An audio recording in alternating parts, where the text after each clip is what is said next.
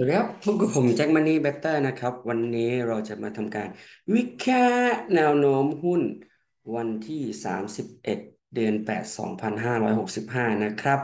โอเค เพื่อไม่เป็นการเสียเวลาเรามาเริ่มต้นกันเลยนะ เรามาเริ่มต้นกันที่ตัวเซตก่อนนะครับเซตยังเป็นแนวโน้มขาขึ้นนะ แต่ว่ามันไซด์เวย์อยู่ในกรอบนี่แหละ 1,610 ถึง 1,650 นะ อืมถ้า จุดเฝ้าระวังก็คือหนึ่งพันหกร้อยสิบหลุดไม่ดีนะหนึ่งพันหกร้อยสิบหลุดไม่ดีนะครับ โอเค ถัดมา K-Bank นะครับ ก็ยังเป็นแนวโน้มขาขึ้นอยู่นะ คนที่มีของวาง stop loss ไว้ที่หนึ่งร้อยห้าสิบเอ็ดนะครับ แนวต้านอยู่ที่หนึ่งร้อยหกสิบสี่จุดห้านะสำหรับคนที่รอซื้อรอบริเวณแนวรับนะครับหนึ่งร้อยห้าสิบเอ็ดนะ ตัวถัดมาบ้านปูอ่าตัวนี้ทำออทำไฮหรือยังออทำไฮในรอบหลายปีปะสิบสี่บาทเก้าสิบตรงนี้ วันนี้ยังไม่ทะลุนะ เมื่อวานยังไม่ทะลุนะทำจุดสูงสุดอยู่ที่สิบห้าบาทนะครับ แต่ว่าไม่ทะลุนะก็มารอลุ้นต่อไปนะว่าเขาจะทะลุได้เปล่าดูวีก่อนนะ อืมวีคนี่ก็มีต้านที่ค่อนข้างแข็งอยู่นะ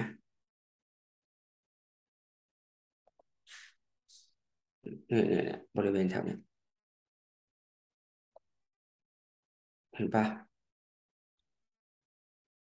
มีคนติดโซนเนี้ยมีหลายโซนนะเนี่ยเห็นไหมตรงบริเวณตรงเนี้ยนะสิบสี่บาทเก้าสิบมีคนติดเยอะพอสมควรนะ สิบสี่บาทเก้าสิบมีคนติดเยอะพอสมควรเรามาระวังนะเรามาระวัง ถ้าผ่านไปได้ แนวต้านถัดไปอยู่ที่สิบห้าบาทเจ็ดสิบแล้วก็สิบแปดบาทตามลำดับนะครับตัวถัดไปบำรุงราษฎร์เป็นแนวโน้มขาขึ้นนะ คนที่มีของวาง stop loss ไว้ตรงนี้ เลื่อนมาวางไว้ตรงนี้นะสองร้อยเก้าบาท แนวต้านอยู่ที่สองร้อยสามสิบบาทสองร้อยหกสิบบาทนะ ถัดมา PTTEP นะเป็นแนวโน้มขาขึ้นนะครับ ขาขึ้นระวัง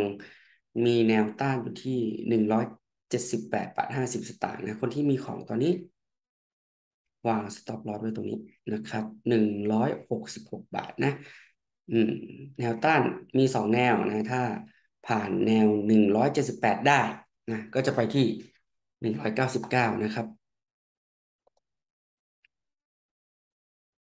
อะถัดมา SCB เป็นแนวโน้มขาขึ้นนะ ถ้าอ้างอิงจาก Image 75 นะครับ คนที่มีของวาง stop loss ไว้ที่ 106 บาท แนวต้านอยู่ที่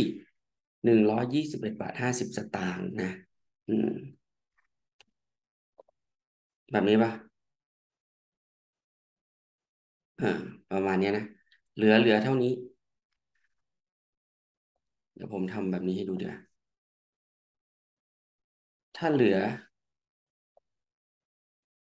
ถ้าได้นะถ้าได้ อันนี้ประมาณนี้ใช่ไหม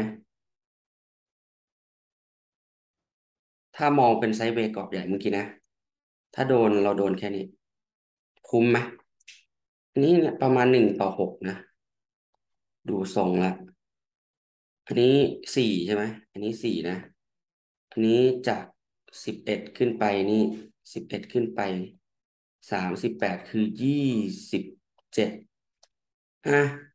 สี่กับยี่สิบเจ็ดเจ็ดสี่ยี่สิบแปดอืมหนึ่งต่อเจ็ดหนึ่งต่อเจ็ดนะครับ ก็เป็นอะไรที่คุ้มนะรีวอร์ดลิกเรโชโอเคนะครับ PT เป็นแนวโน้มไซด์เวย์ในกรอบสามสิบหกบาทเจ็ดสิบห้าสตางค์ถึงสามสิบแปดบาทห้าสิบสตางค์ก็ไซด์เวย์ไม่ต้องเทคนะเสียเวลา CPO เป็นแนวโน้มขาลงนะครับ อยู่ใต้เมจเจ็ดสิบห้าแบบนี้ไม่ต้องเทรดนะ ผ่านไปเลย AOT เป็นแนวโน้มขาขึ้นนะครับ ถ้าจะซื้อรอซื้อบริเวณเจ็ดสิบบาทนะ แนวต้านอยู่ที่เจ็ดสิบสามบาท ถ้าผ่านไปได้ นู่นเลยนะ นู่นเลยนะไกลไป เดี๋ยวเอาตรงนี้เจ็ดสิบแปดนะ อืมไซเวย์อยู่ในกรอบไซเวย์อัพนะ อยู่ในกรอบเจ็ดสิบบาทถึงเจ็ดสิบสามบาทนะ ก็เป็นขึ้นเนี่ยขึ้นไปเรื่อยๆ ขึ้นไปเรื่อยๆนะ รอให้เขาย่อลงมาเหมือนเดิมนะ กับที่วิเคราะห์ไปเมื่อวานแบบนี้เห็นไหมก็จะย่อลงมา ก็จะล่อลงมาแถวนี้แหละอีเวก็ขึ้นไปตรงนี้แล้วก็ไปต่อแบบนี้นะครับ แอดวานแนวโน้มขาลงไม่ต้องเทรดนะครับคนที่มีของวางซับลอตไว้ที่หนึ่งร้อยแปดสิบเจ็ดบาท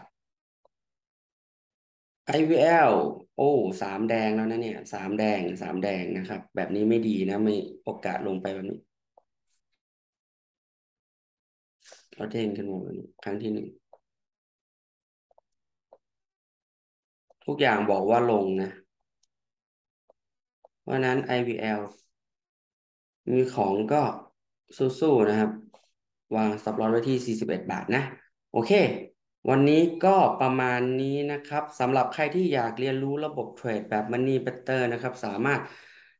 ติดต่อสอบถามเข้ามาได้นะครับ วันที่ 24 ถึง 26 นะครับ เราก็จะมีเปิดสอนกันนะครับ โอเค วันนี้ประมาณนี้ครับ สวัสดีครับ